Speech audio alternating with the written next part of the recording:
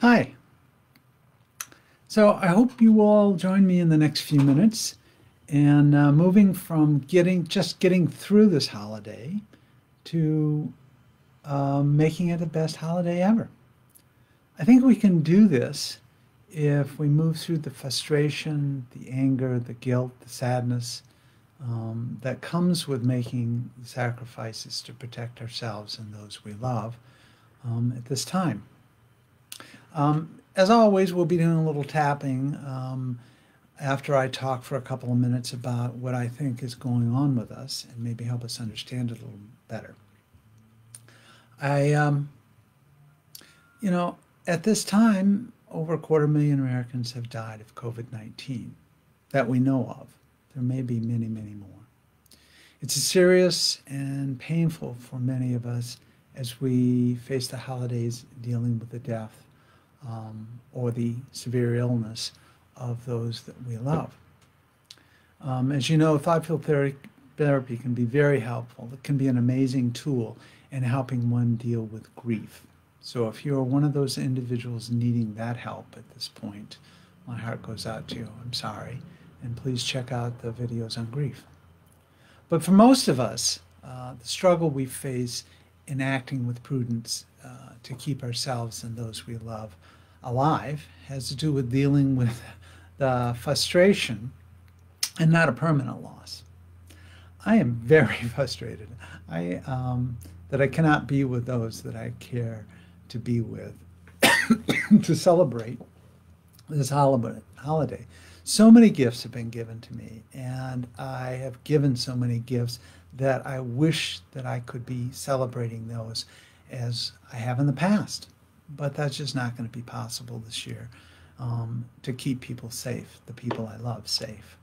And it's it's a tough call because we want it now, but in order to have it next year and the year after and the year after and the year after with those people we love, we have to make this sacrifice at this time.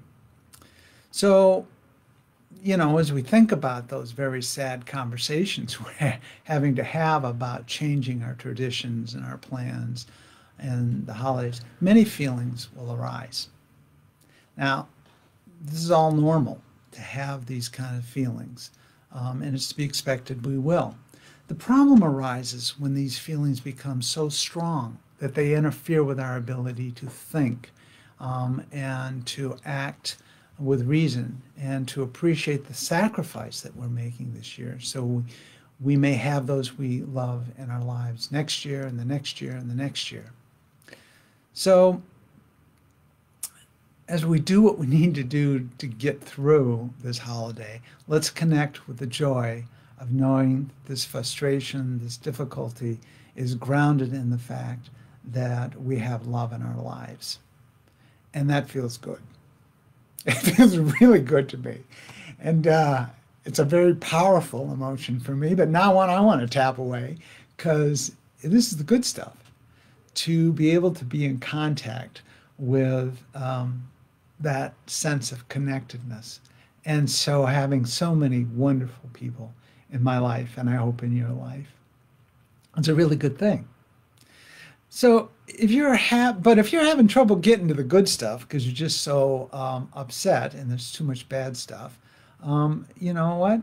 Uh, that's understandable because it's going to not only bring up the frustration and the sadness and the anger and the guilt of this current moment, it's also going to trigger us back to other events, you know, family of origin kind of holiday stuff.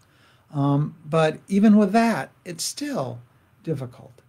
Um, so if you're feeling those feelings right now, um, I would ask you to notice as you think about your holiday plans what you're feeling and rate it the upset, the negative part of it, not the good stuff, but the upset stuff on a 0 to 10 scale.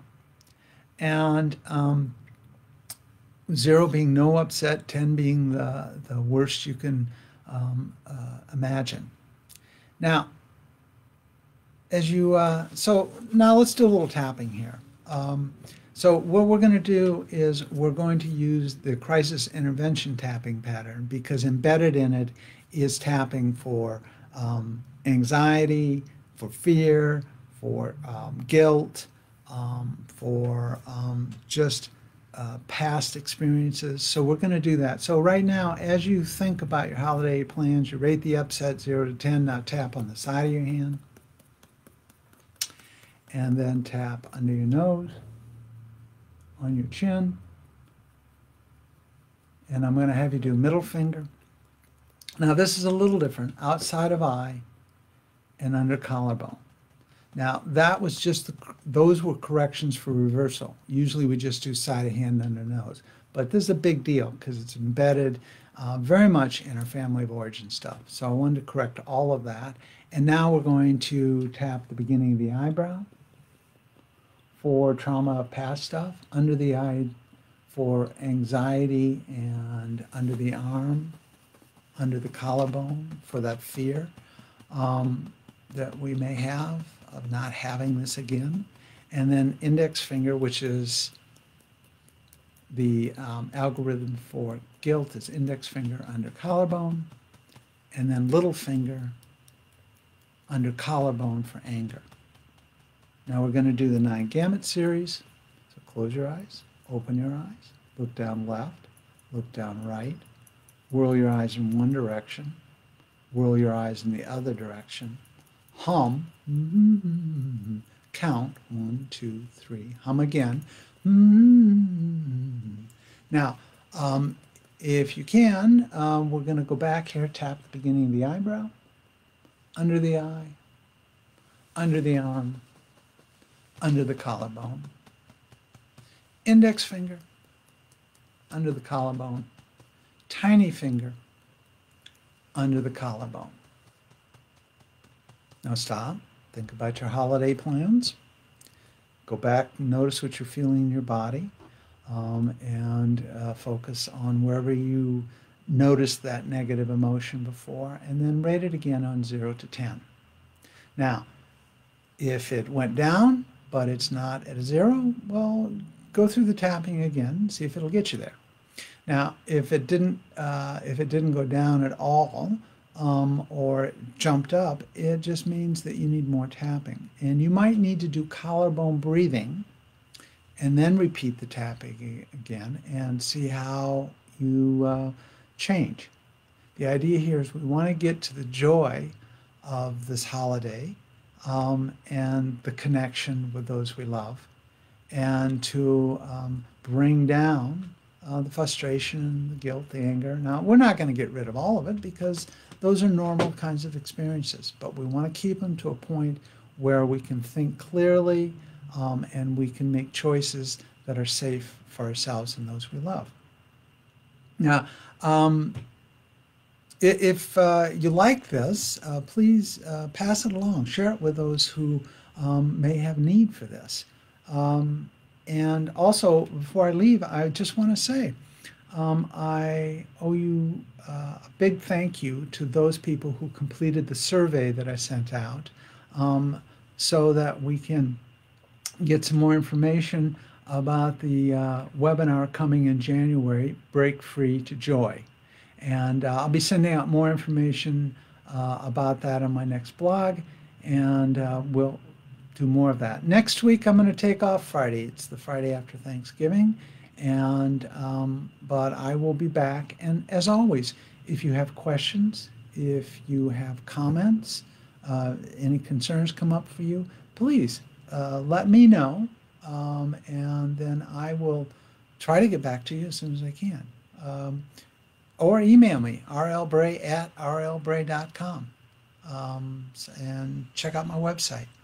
So anyway, um, for all of you um, who I will not be seeing or talking to, um, probably talking to is more reasonable for what's going on with me.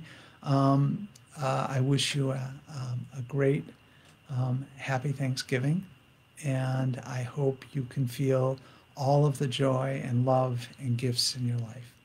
Bye bye.